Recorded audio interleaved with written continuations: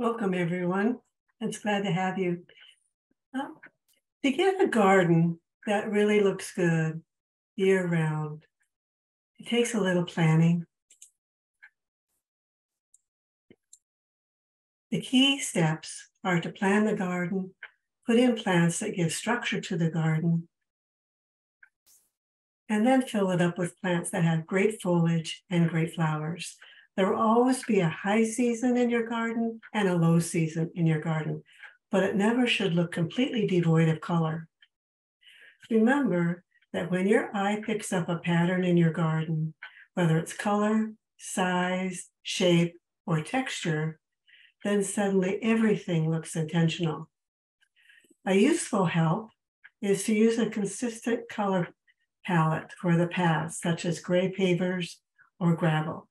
These things provide calm and a little control, and they help keep the plants from taking over, at least visually. 10 Minute University, oops, sorry. 10 Minute University is a program of Clackamas County Master Garden Association offered in collaboration with and in support of Oregon State Extension Master Gardener Program. The 10 Minute University trademark provides essential gardening information for the home gardener. Oregon State University owns the trademark, and Clackamas County Master Gardeners develop and manage the program. At our website, you will find handouts, videos, classes, and workshops. Our program is volunteer led and we are supported by OSU faculty to ensure the quality of our content. Let's Grow Together is the theme of 10 Minute University's 2023 online seminars. This is our schedule at a glance. For more information or to register for classes, please visit cmastergardeners.org. Thank you for making us part of your gardening journey. I think this idea is often lost in design talks about color in the garden, but color is essential to life, pollination, ripening, and other biological processes. These are some landscape terms I'll be talking about today color, size, shape, and texture. Texture refers to foliage, it's bold, spiky, smooth, feathery, lacy, velvety, prickly. Tapestry means the art of placing plants in a pleasing combination. Triangles in the garden. This is how to place plants and art. And I'll talk about this throughout the presentation. So if things don't look good now, they never will. So start with a clear out, decide what needs to stay and what you want to dig up and pass on. View your garden from different perspective, whether it's a season, color choices, or focusing on an art object. One way to do this is to walk through your garden one way and then turn around and walk through it backwards. And you'll see things that you weren't necessarily aware of. This is how I do garden tours, and it's amazing what I see that I didn't see the first time. Ignore a season if you're not home, home, or you don't want to go outside, like winter. Planting for a year-round color garden comes with responsibility, knowing the elements, whether it's like rain, wind, rain, temperature, can dramatically impact your garden knowing your local weather is patterns is a good start to making sure your all your hard work pays off all year round.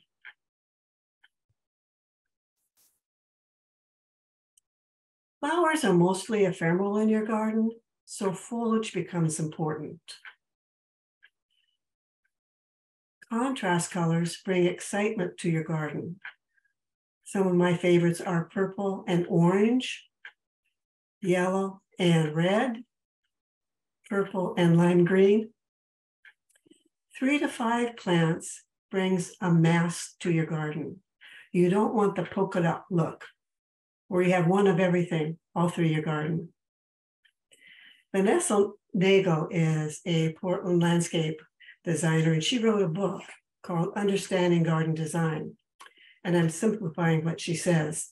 In simple terms, she uses a sentence to, to design a, a portion of the garden. The exclamation point brings your eye to the area. That could be a species plant, an art object, a super color. Then you fill in with the nouns. These are the shrubs that give the background to the exclamation point. Then you add the adverbs and the adjectives in the mid to lower range in your garden to finish the design. Create surprises with garden art, arbors, special uh, specimen plants.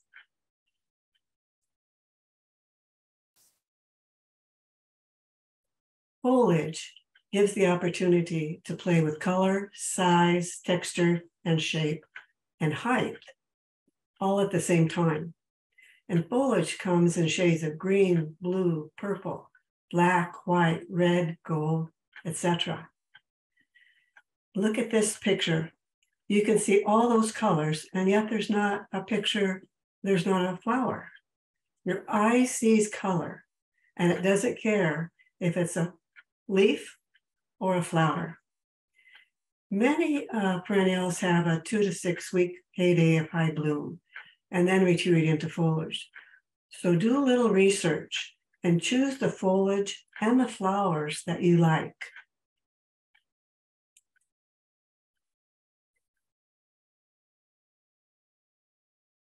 Colors, shapes, sizes, and texture, all in this picture. This creates tapestry. So on the left, we have the gray burgundy of the astilbe. We have the round, shiny leaf of the bergenia, which has been eaten by a bug. We have the purple of the oxalis. This is a heuchera, so it's golden with red purple veining. Down here is the variegated um, Solomon seal. Now I'm going to start talking about triangles so you can see how it works.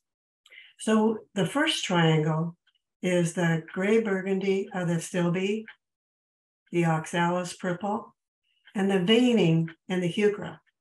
So that becomes your triangle. Another triangle, maybe not as strong, would be this astrantia down here with the pink blossoms. And when it's in bloom, the whole plant is pink.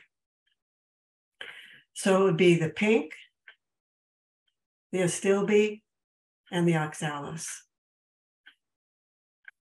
That's the triangles.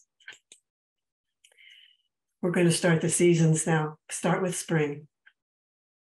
Spring comes in short, long, early, and then it has three phases early, mid, and late. And you can have plants that look good in each one. Early spring is chilly with erratic weather patterns. So look for tough early bloomers, such as hellebores, witch hazel, snowdrops. In mid to late spring, you'll notice lilacs, peonies, and many others that come into bloom. Spring is known for pastel colors. They, all the colors blend together so well. And spring is the time to plant, visit nurseries, and get excited about your garden again after winter. Remember the advice right plant, right place. It pays to do your research when purchasing plants. It, it's an investment in your garden. Throughout the presentation, we are going to see three gardens, usually from the same perspective, all through the year. So this is a spring garden that Sherry has created. So you have the light burgundy of the Japanese lace leaf maple, the pink of the um, flowering cherry. But look at the layering. She has tall, middle, and low. When you layer, then you give structure and substance to your garden. This is the moon bridge at the Japanese gardens. They do it so well.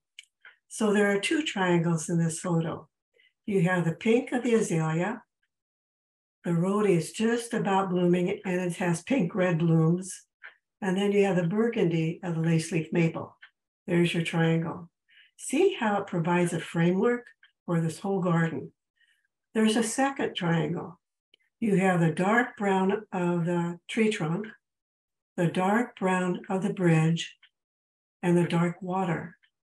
So you could have an inanimate object like the bridge, and it still counts as a color.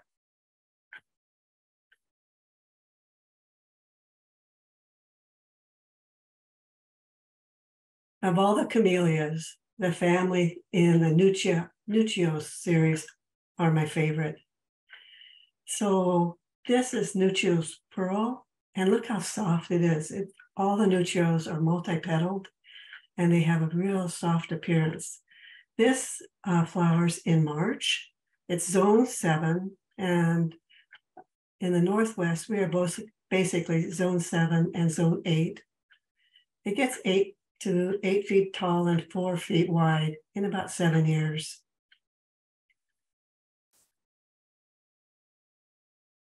Think fragrance. That comes with spring. And usually it's Daphne that you smell first. It's so wonderful.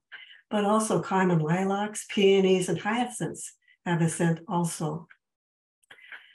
And then the color palette, such as pink, lavender, and white, are classic spring look. These colors are soft and easy to mix and match. And the reason is they have the same intensity or saturation.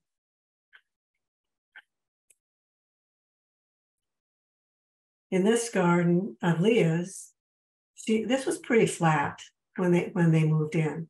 Then she added the rocks, the stairs, the waterfall, and all these trees. So the trees and shrubs provide overall structure and for you to have a good looking design in your garden. And under the deciduous trees, you can plant annuals, perennials, or bulbs. So when they come up in the spring, they get the kind spring sun. And then as the trees leaf out, then you get and you get the harsh summer sun. The leaves now protect all those uh, bulbs underneath the tree. This is the April garden. Look how much is coming up. All the perennials are starting to come up and bring in a lot of color.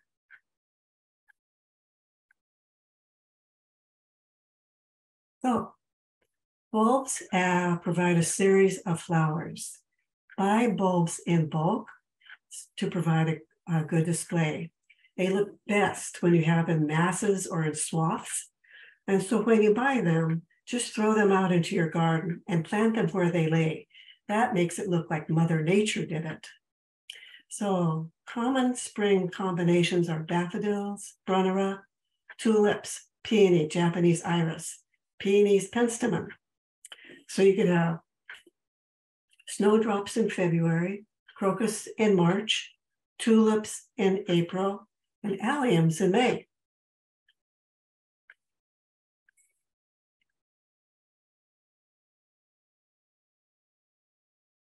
This Hamamelis Jelena, it's a witch hazel, is my favorite, and I've used it in a lot of clients' gardens. The flower comes out first, and it's an orange bronze look, and then it leaves out later. But think of that orange bronze look against the rainy gray sky. It'll look spectacular. This uh, lilac sensation I like because each petal is outlined in white. So it gives the lilac a lot more interest. Erica Myretoun Ruby has such cool flowers because that's that hot fuchsia and then the black. And pansies are the workout horse in almost every season.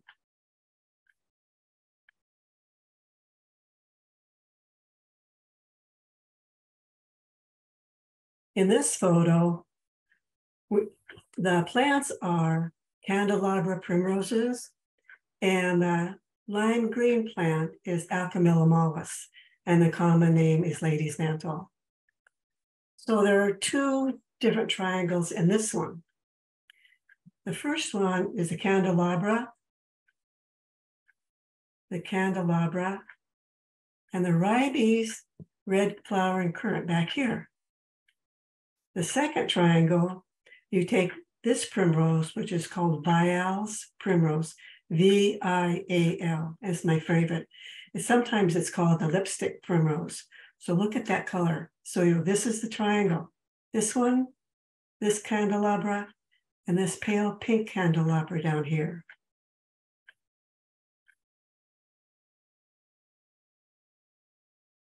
Oh, can you ever ever have too many containers? Not really. Not if you keep the colors within the confined palette.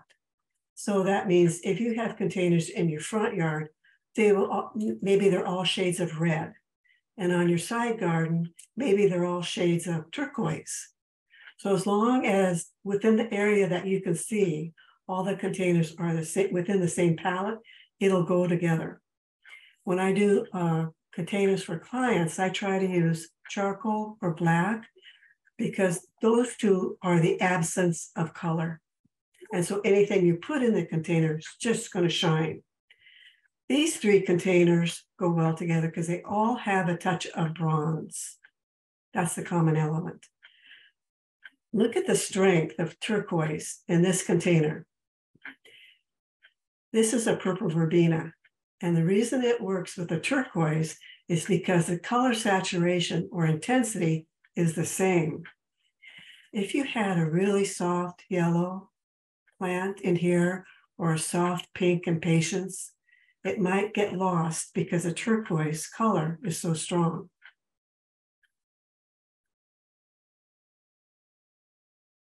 This is my uh, friend's red flyer wagon. Her daughter's in her 40s now and doesn't need the wagon. So Vicky drilled holes in the wagon, spray painted it with red Rust-Oleum paint, and then put in potting soil. And then she put in a combination of pansies and bio, violas.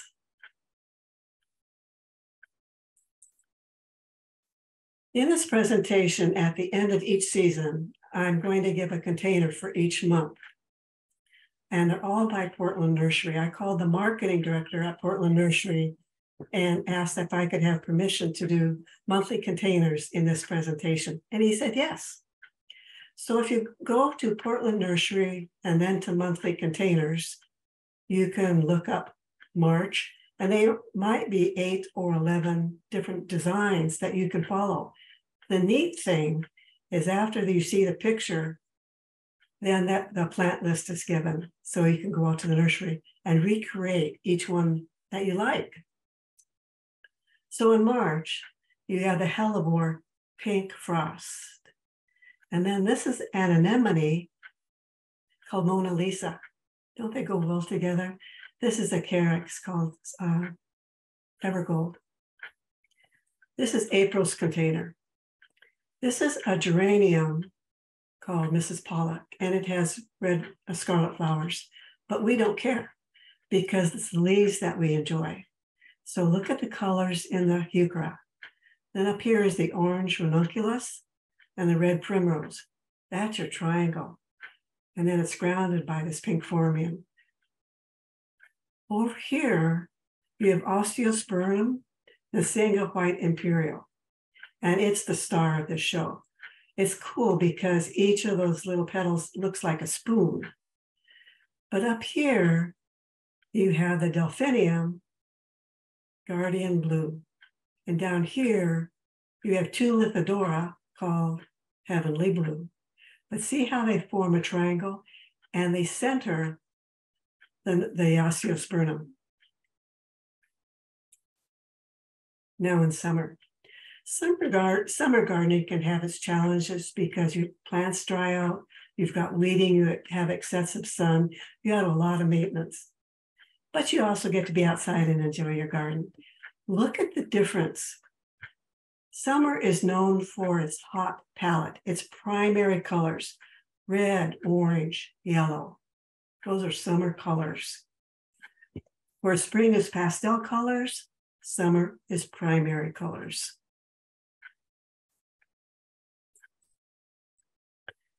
So this is Sherry's garden in summer. She, look how soft it's all getting up with all the leaf trees and shrubs leafing out. This garden is several acres big, and she uses her lawn as garden path. Because the yard, the garden is so big, she uses all her annuals in either hanging baskets or containers. When you plant perennials and shrubs, spread them out, interweaving them with existing plants to create that tapestry effect. Remember, tapestry is the art of placing plants in a pleasing manner. By layering your garden as tall, middle, low, you can create a rich, full look. This is the Japanese garden in the summer. Look how soft this is now with that summer sun. Green is the color of peace, harmony, and renewal. Perfect for the Japanese garden.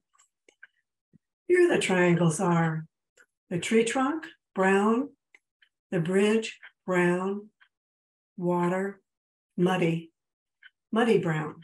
So mud is a color too.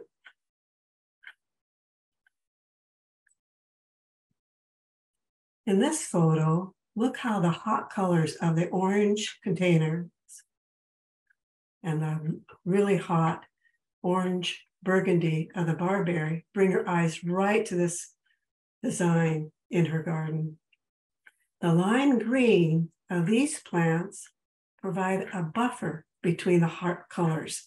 So your eyes has a mini place to rest before looking at all those hot primary colors.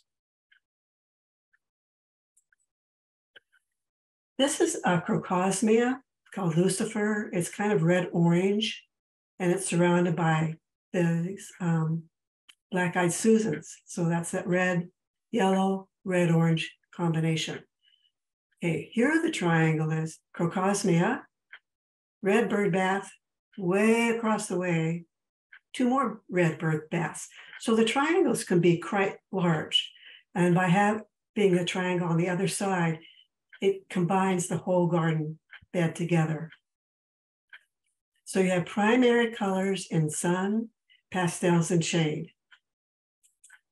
Roses, of course, there are roses for everyone, every garden, fragrant, non-fragrant, brilliant colors.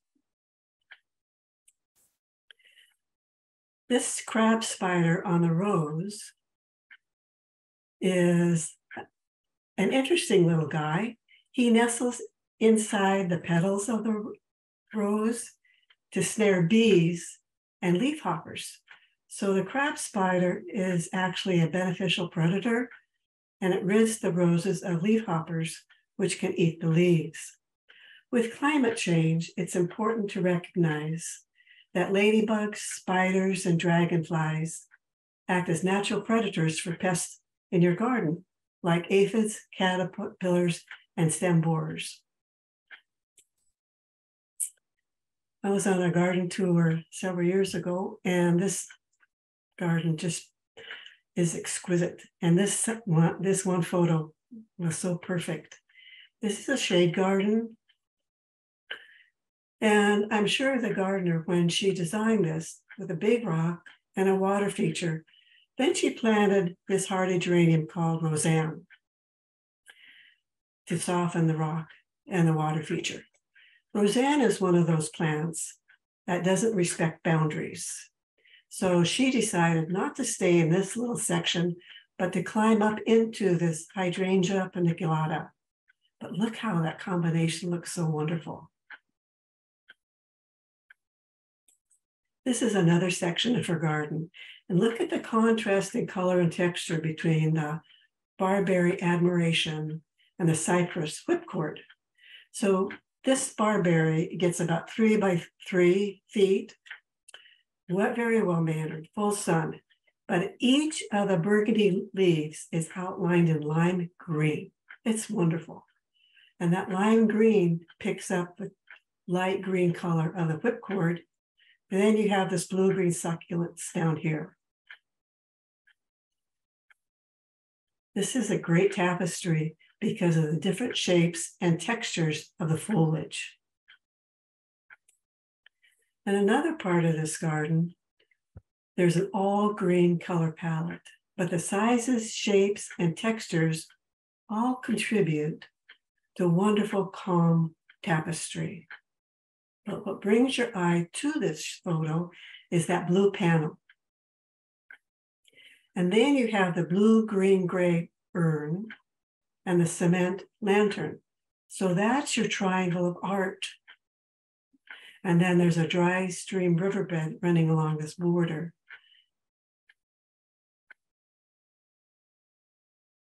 This is my garden in summer.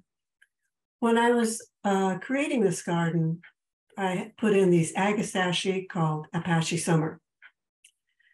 And I realized that in my garden, apricot is my favorite color.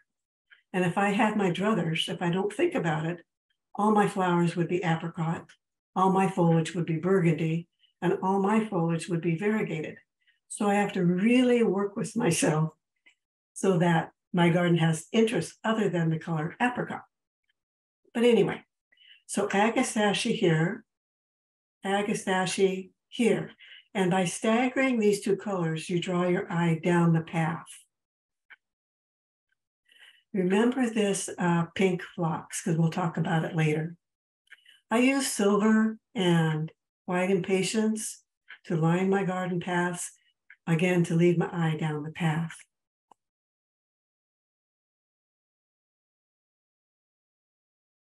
Look at the strength of colors in the summer garden, from the echinacea, the golden orange of the carex. This is a rose called Frankly Scarlet, have chrysanthemums. Then this is a clematis from the Rogerson Clematis Garden in West Linn, and it's purple with fuchsia. Ooh, cool. This is the radio flyer in summer. So right in the middle is this petunia right in here. It's waiting for another flush of bloom. So she has lime green potato vine. There's a purple salvia here. And then she's picked up the lime green in this coleus. Vicky lets her garden, her grass go dormant in the summer because she'd rather use her watering in her beds. And because of the coleus, and the wagon gets to travel throughout her garden. So in the morning, the wagon is over here. And then as the summer sun beats in the west, then Vicky pulls the wagon into a part shade, part sun area. So the wagon gets to travel all over the backyard and have an adventure. The yellow in this June container brings your eye right to this container. This is a shade garden, part sun, part shade. This is a fuchsia called Gartenmeister. It's my favorite, and I buy it every year. It's an annual in our climate. This fluffy stuff is called uh, annual for us. It's a euphorbia breathless blush. But look at August container. You have the yellow and orange of the mums. And then you have the sedum angelina. The other triangle is this cabbage called tall bicolor. Then it has sedums, Cape Blanco. I have this in my garden, and the leaves kind of form a cup. It's really a pretty one that soft gray. Now we're into fall. The light is softer, the temperatures are lower. Hopefully, our rain is back and plants are happier, and you can have a warmer color palette. Fall is my favorite time. So, late season bloomers can bring excitement to your fall garden in addition to the fall leaves, which count as a color. So now Sherry's lace leaf maple is a brilliant red orange. It picks up the red over in this plant here. Trees and shrubs in golden, orange, and red tones for autumn look wonderful. Look for long, long blooming plants like hibiscus or hardy mallow, asters, dahlias, grasses. Start putting kale and cabbage out trees that hold on to their fruit, such as Korean dogwood with those orange pods and persimmon, add interest to the late fall and early winter garden. This is uh, uh, the reverse of the moon bridge that we've seen. So this is a vine maple. Look at that warm color. And this is that lace leaf maple that we've seen in the two previous seasons. Isn't that lovely? Look how cool the bark, that brown is of the twigs. The warmth of color in fall. So Cotinus grace is the common name is smoke bush in Leah's garden. So look how you have kind of a soft blue, the red orange, the yellow over here. Lots of stuff is going on in a fall November garden. So the Cotinus has bright red leaves in the spring, dark red, in almost a burgundy in the summer, and then in fall, red, orange, and gold. It's called a smoke bush because the flowers look like wisps of smoke.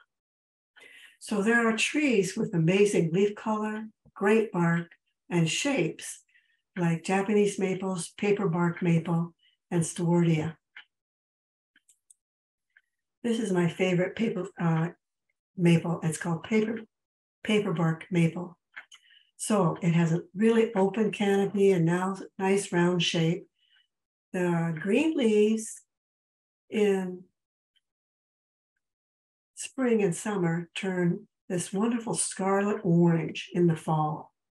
And then it becomes, as it ages, you get this defoliation of the bark.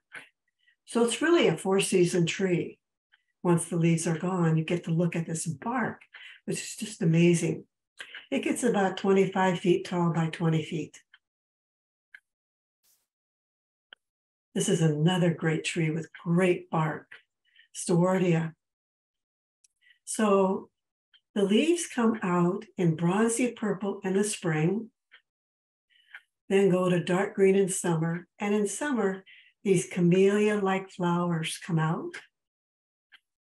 And then the leaves turn that red orange in the fall.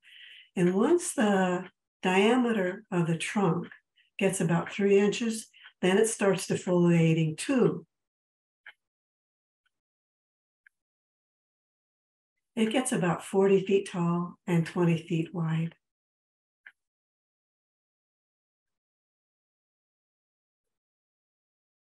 The Caryopteris has really pretty gray green leaves, lightly scented, but these amazing purple blue flowers.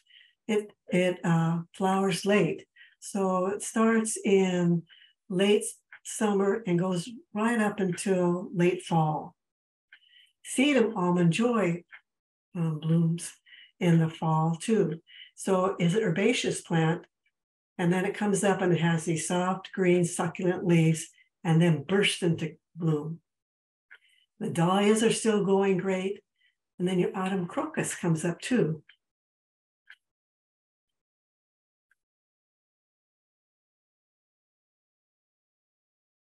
This is Chelone obliqua, and it's also called the turtle head plant because the flowers look like turtle heads.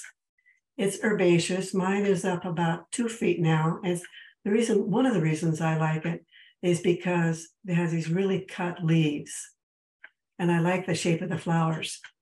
Pink is not one of my favorite colors.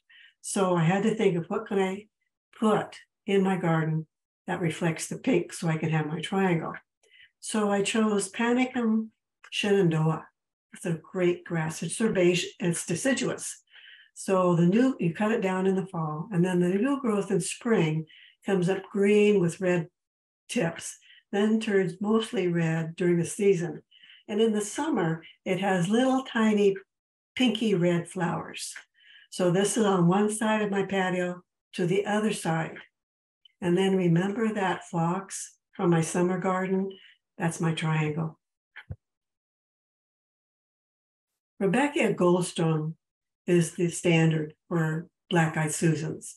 They're making, they're hybridizing so many cool Rudbeckias now in bronzies, different yellows, oranges. They're all great. I bought one called Little Henry because I thought the name was cute. And I planted it behind my autumn joyce sedum. Well, Little Henry was not little, he was five feet. So this is why it pays to read the tag on your plants. They give you so much information. And you see the four frogs waiting for their next me- meal.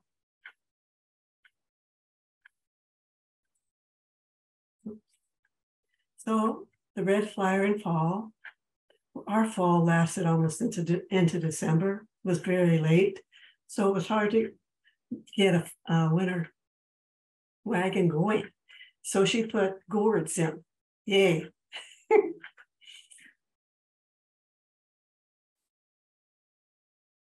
so there's a black eyed Susan. This is a container that I actually made for myself last fall. I have a red container this color. So it has apricot pansies. So of course I liked it. This is the triangle. This is a heuchera called mahogany. And the leaves look like leather. It's really cool. There's another triangle, pansy, pansy, and a plant called Chrysophrasma. It gets about uh, five by three. It's kind of delicate here because it's a zone nine, but in the fall, it has apricot green and yellow leaves. It's wonderful. It doesn't flower, it's just got great foliage. In winter, the colors are very muted, but plants that bloom in the winter give a burst of color in the midst of all those rainy gray days. But you can have the starkness and beauty of the deciduous trees and shrubs. So Sherry took this picture on purpose in black and white. Our winter garden is about light as much as it is about plants, says Adrian Bloom, who's a horticulturist and a garden designer in England, and he's one of my favorite writers. So you place evergreen plants for structure and interest. The twigs and the branches build a frame to hold the garden together. It's the combination of evergreen trees and deciduous trees and shrubs that make your garden. Black and white photos are often suggested by garden design books because you're looking at the structure. You aren't deceived by the color. Color is an emotion. And when you take away color, then you see the garden as it truly is. And then sight lines are exposed. So maybe looking around your garden, you can see where you need something round or something oblong or if it's too bushy, maybe you could create a path through it. There are often designers that say, when you start your garden, if you're lucky enough to start from scratch, you build your winter garden first, because that makes you put in the structure. It's too easy in spring and summer to go for the pretty things and then think, rats, now where am I going to put the tree? This is the moon bridge in a Japanese garden. Look how much evergreen material they use. Here's that vine maple. So you have the twig, the branches here, the bark here, and our famous bridge. Landscape structures such as fences, pergolas, and garden sheds can add a dose of visual thrill to your, to your yard.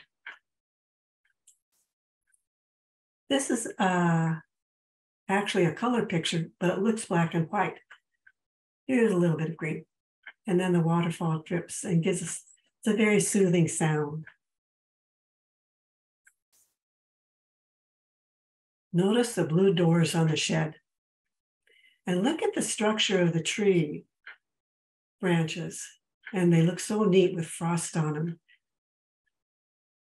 That structure is so important in a winter garden. So now look at the door on the blue shed. It's glowing and it really helps to have a wonderful sunrise. So Leah and her husband went uh, through discussions to decide what color to paint the doors on the shed. They went through many red, green, yellow. Nothing was quite right until blue. We like blue. And then they decided they had, well, they had to go through five colors of blue before they found the right blue. And then you get a sunrise to go with it. It's lovely. This looks like marshmallow cream. And again, the blue doors stand out.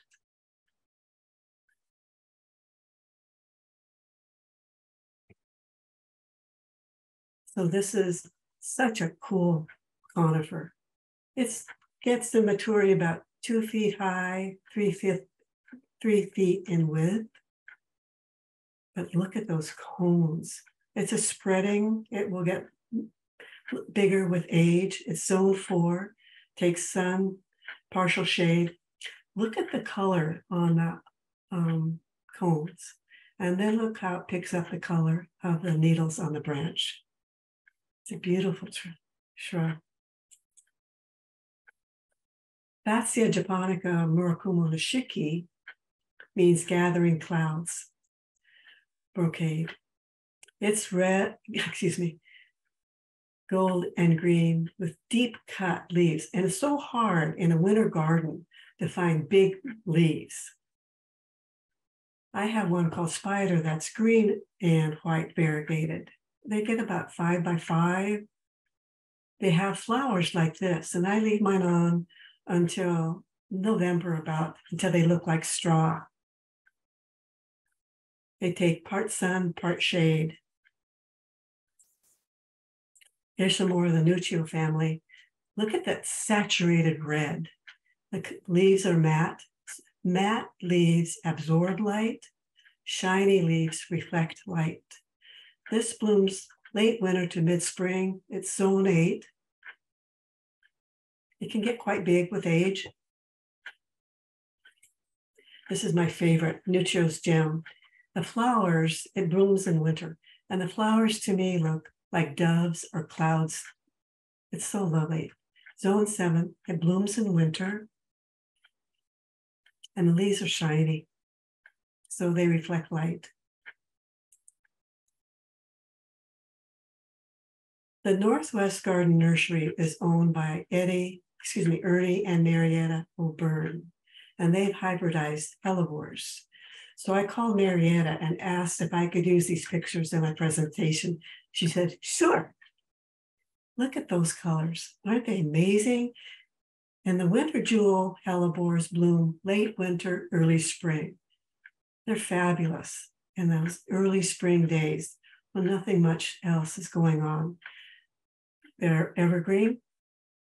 Um, the O'Byrnes are the ones that hybridize the hellebore uh, flowers to face up so that you can see them. The traditional hellebores all face down.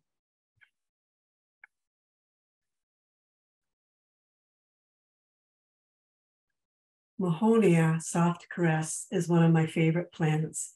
Mahonia is Oregon grape, and you can tell by the yellow flowers. The foliage is so soft. It's like a fern or bamboo. Nothing goes wrong with it. It's three by three and a half high and wide. It's zone seven to nine, perfect in our climate. Nothing goes wrong with it. I've grown it in containers, but it's actually happier in the ground. The more sun it gets, the more chance you'll have of those blossoms. This is my new favorite, Sempervivum. Sempervivum means in Latin, always living. So they they were kind of expensive because they're kind of new. So I found a nursery that, that had three pups that I bought, and I put them in a bird bath that no longer that leaked. I could no longer use it as a bird bath, and I made it my sedum garden. And they made it through last year through all the ice and snow, snow and buckets of rain. It's an evergreen sempervivum. It's fabulous. So red twig dogwood also comes in yellow twig dogwood. And the way that you grow it, you in the spring, you cut it off close to the base because the color comes from new growth. And the, the plant is very ordinary looking during the year, but in winter, these yellow and uh, red twigs just shine. They're outstanding in a garden. This is Callicarpa profusion, which is the standard. So it's a deciduous plant. The leaves come out, they're green, it has purple pink flowers in the spring, insignificant. But all those flowers form seed heads that become this violet purple. And when the leaves fall off in the fall, you have this shrub with these amazing berries on them. The birds love them. So you have to look quick. This is Sarcococca, and I love this plant. It's uh, shiny leaves, nothing goes wrong. It blooms for mine. They bloom in between December and February, depending on how hard the winter is. The, the flowers are so small that you see the scent of almost Daphne. So you know the scent is coming from somewhere, but you don't necessarily know where it is. When the seed flowers are done, then the seed is a black blue uh, berry. When the berry falls down to the ground, you get a new plant.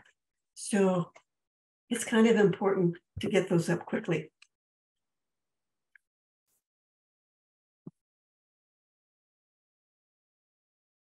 Ultimately, you're designing a winter garden based on simplicity, elegance, and smart design. In this one photo, we have a blue plant, but this is the plant I want to talk about, Libertia. And in between is that Myretoun ruby, Erica. So this is an evergreen. It's not a grass. It's the because the leaves are really stiff. And in the spring, a stalk comes up with a white flower. And when the white flower is done, it has a yellow berry. It gets about 18 inches high and 24 inches wide and it likes the Pacific Northwest.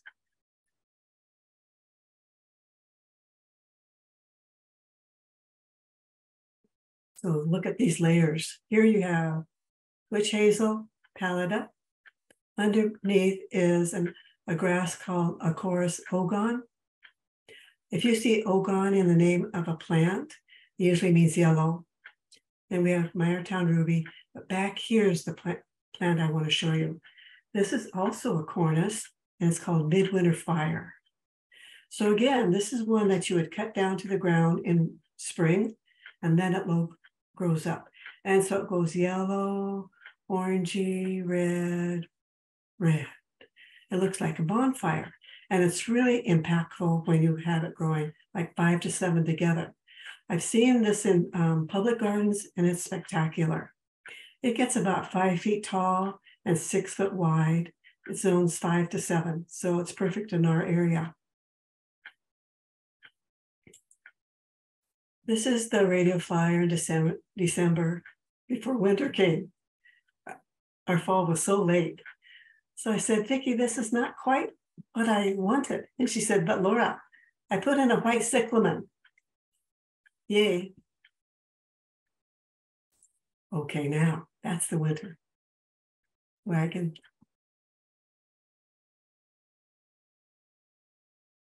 In December, we have a viburnum called compacta. It's three by three. So when you use shrubs in your container, some point you're going to get to move them to your garden. But for a December container, you can have pine cones, white cyclamen, red twig dogwood.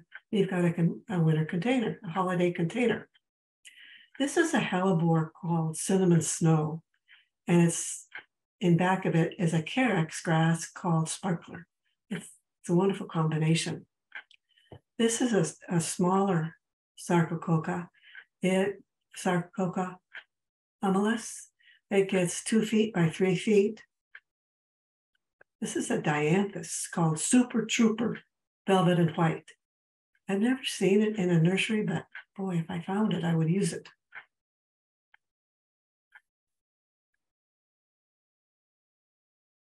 So plants look great on their own, but when they're matched with a piece of art, the whole area becomes a piece of art. So choose a style, whether it's rustic, architectural, or glass, it all adds charm. What you're doing is you're making a moment, and moments pull you through a garden, which then becomes a journey which then becomes an event rather than just a collection of plants putting together. Moments let you stop and enjoy the scene before moving on.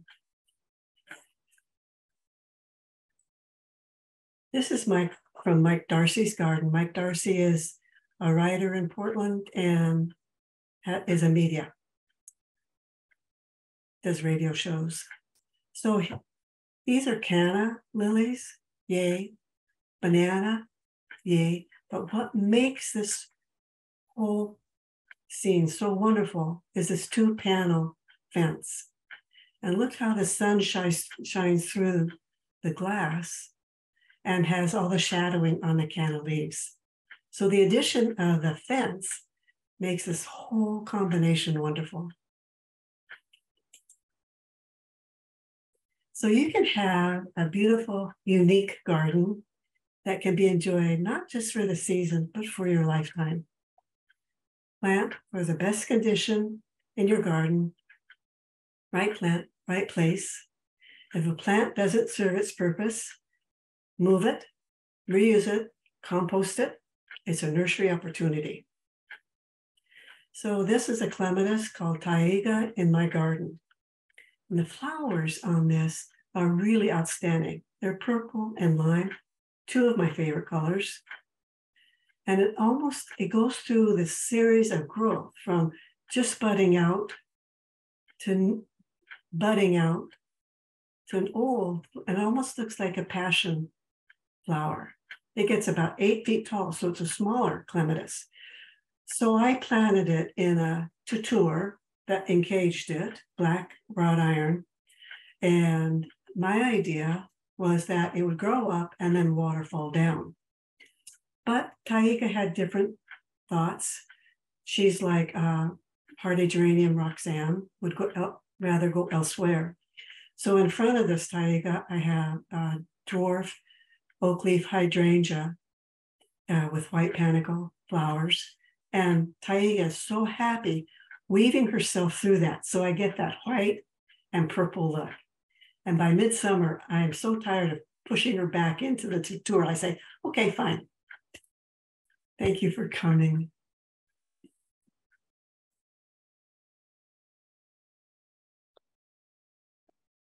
That was spectacular. I just love seeing all those beautiful, beautiful pictures and color combinations and some great ideas. I do have uh, one question that I'd like to go through. Um, right at the beginning, one of the attendees asked, so is it challenging to get year-round color, texture, all of that, while keeping in mind that you've got pets and you have to worry about toxicity? And what about pollinators, birds, bees, that kind of stuff? Does the color mm. automatically draw those yes creatures? So is that the question? Does That's the question. That's a multi-part question. I should have broken it up. I'm sorry. So color does, does draw the pollinators to do all those biological processes, processes. That the answer? Uh, that's part of the answer. I think that also that just because a flower is colorful doesn't necessarily mean that it's going to be beneficial for bees, pollinators, that kind of thing. They have things that they prefer. And um, but there are links at OSU that say these are the these are the flowers that that pollinators prefer. But what about do you think about like toxicity when you're planning, you know, for pets and things like that? Or, you know, there's just a whole range of things to think about when you're when you're planning all of that. Um, right. And that's why you have to do your research. It's also why you need to read your plant tags because you're going to get most of the information there. I'm hesitant to recommend or, or differentiate between what plants are toxic and what aren't because there are so many and each one has different toxicity to different things. Yeah. You would prefer that each one does their own research on that. And I think that's a that's a really good point, not only in the toxicity um, and um, when you were talking about, I think you said little Henry that you thought was going to be a little small plant and that it's not. Reading the plant tags is really, really important because you can look at something at the nursery and go, oh, that's adorable, and then get a surprise later on in the year. Gardening for 30, well, for Yeah. decades. And I just passed right over that. Had little. No. okay. Well, I we don't have any more open questions, so thank you so much. And I'd like to remind everybody that you will get a link within two days to this recorded webinar.